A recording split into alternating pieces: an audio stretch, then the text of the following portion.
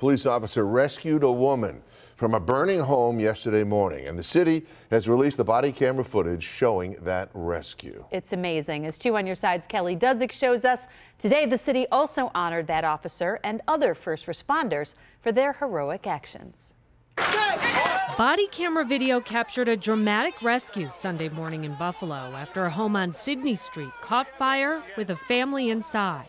Let him go, go, let go. And this body camera footage shows someone rescuing one of the children as police and firefighters got there before the woman police rescued made her way out onto that front ledge. The woman hurt her leg and was taken to the hospital. She's expected to make a full recovery. Monday, the city honored the first responders. Uh, you can never really plan for something like that. Uh, you just got to do basically the best you can.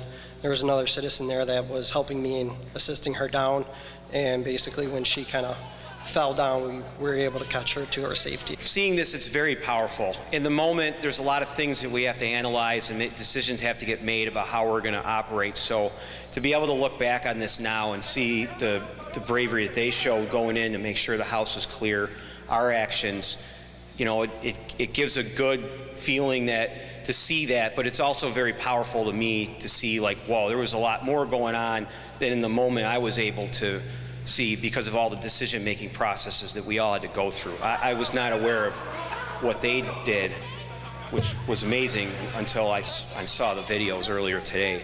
Fire investigators say the fire started in a hallway and moved into the attic. They're trying to figure out the cause. The nearby Evening Star Church of God in Christ uses the home to help people in need.